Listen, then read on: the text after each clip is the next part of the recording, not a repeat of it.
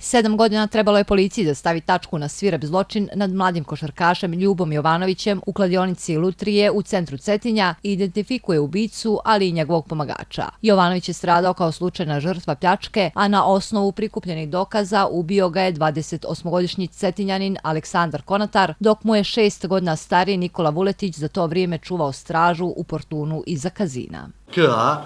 ušao u objekat sa pištoljem NN marke, kalibra 7,65 mm koji je držao u ruci.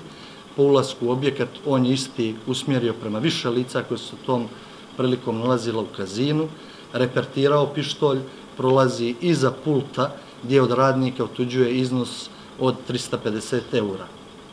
Po otuđenju novca kreće da izlazi iz objekta i kod ulaznih vrata objekta susreće se sa pokojnim Ljubom Jovanovićem, koji u tom trenutku pokušavao da izađe iz objekta Lutrije Crne Gore i spaljuje iz ovog oružja jedan projektil u pravcu Jovanovića, koji ga tom prilikom pogađa u predjelu grudi. Jovanović, koji se u kazinu sklonio od kiše, podlegao je povredama na putu do bolnice, a osumnjičeni su pobjegli automobilom koji su parkirali blizu i van domašaja nadzornih kamera. Konatar, koji je u vrijeme izvršenja dijela imao svega 21 godinu, od ranije je poznat policiji i uhapšen je juče na Cetinju. Za Vuletićem se i dalje traga. U višem tužilanštvu u toku E, saslušanje jednog e, osumnjičenog, dok se drugi osumnjičeni za sada uh, nije dostupan uh, državnim organima Crne Gore. Mi imamo određena operativna saznanja u kojoj se on zemlje nalazi.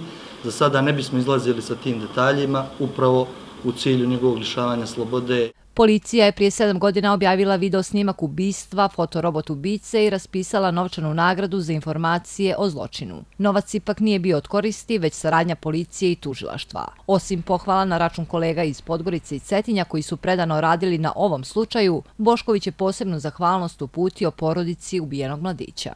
Bili dostojanstveni u svom bolu i čekali strpljivo rezultate istrage koja je, evo, nažalost, trajala sedam godina i nešto u svom tom periodu svojim predlozima i sugestijama su nam bili partneri i pomagali nam u ovoj istrazi. Jovanović je ubijen 30. juna 2011. godine, a na Cetinju je bio na pripremama sa B košarkaškom reprezentacijom Crne Gore koja se spremala za učešće na turniru u Kini.